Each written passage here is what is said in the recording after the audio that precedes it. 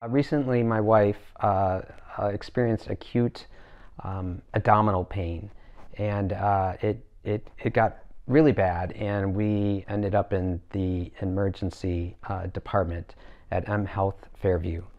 Um, the uh, pain was so severe that she was seen immediately, at least brought to a room immediately. But from there, uh, I must say the situation just um, got worse and worse. My wife ended up uh, being in the hospital uh, for four days, um, three of which she never left the emergency department. She was uh, at times in the hallway, sleeping in the hallway, uh, while other patients in the emergency department were in the ambulance uh, bay uh, in stretchers. Um, it was that bad. And we thought, oh gosh, there's no rooms in the hospital. She can't be admitted. And we soon learned that that was not the case at all. It was a staffing shortage.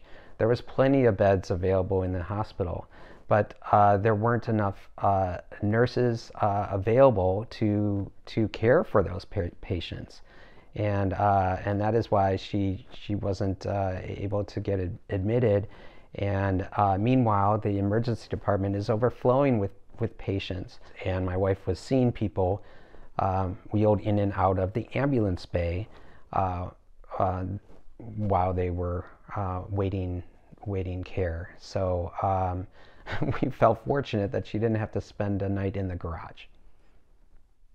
Our system in Minnesota is so broken we feel we're really fortunate. Uh, we live in a major metropolitan area with lots of different options. We went to one of the largest institutions, uh, healthcare institutions in the state, M Health Fairview, thinking that we would uh, be provided uh, adequate care, actually exceptional care, uh, and uh, that just wasn't, unfortunately, the, the case.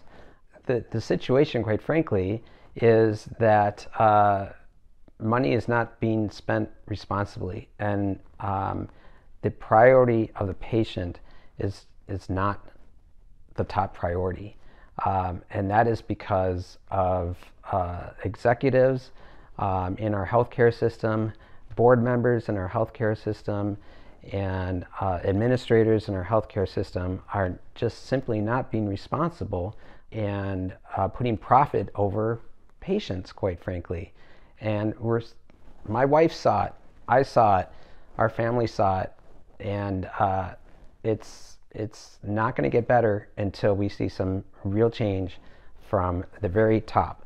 What i would want to say to a ceo of a hospital would be put yourself in my family's shoes. Your wife your daughter your son uh, has to go to the emergency room of your local hospital uh, and uh, endures what what we had to endure, which could have been maybe an overnight stay, ended up being a four night stay with very very poor care. You know, is that what you want for your family?